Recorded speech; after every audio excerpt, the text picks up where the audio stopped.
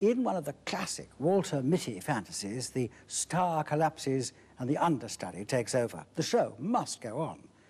But what happens when it's not the understudy, but a member of the audience that takes over?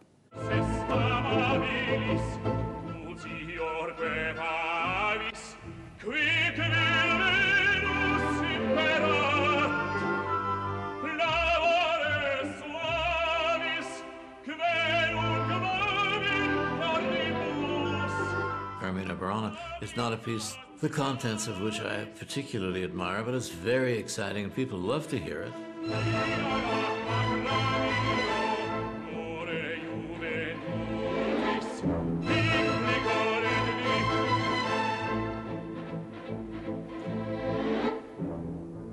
We all enjoy daydreaming, and you know, sometimes dreams can come true. Well, six years ago, Patrick McCarthy, a young music student, was enjoying a night out at the Proms.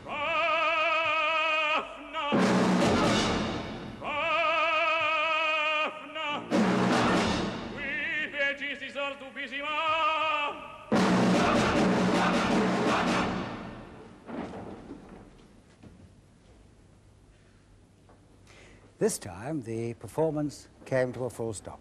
Thomas Allen had collapsed because of the heat and was carried off the stage.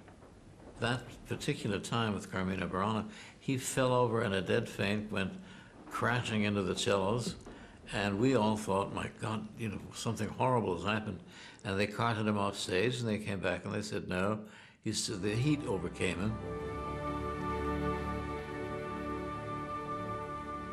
The young man emerged from the audience, clutching the score. He knew the music well and came onto the stage to take over from Thomas Allen. Andre Previn didn't know who he was. He just hoped that Patrick could sing the part.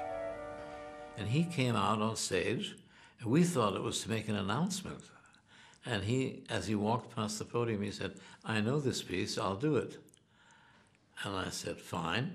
And then he took his place uh, in front of the podium, and I thought, what if this guy is a nutter? You know, what if he can't sing at all? Vox et omnia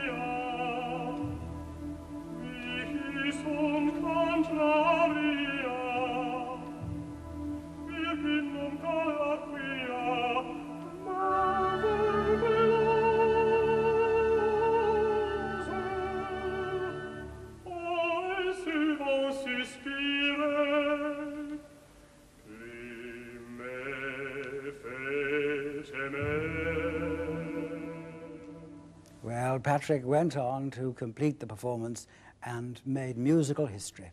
A brave man.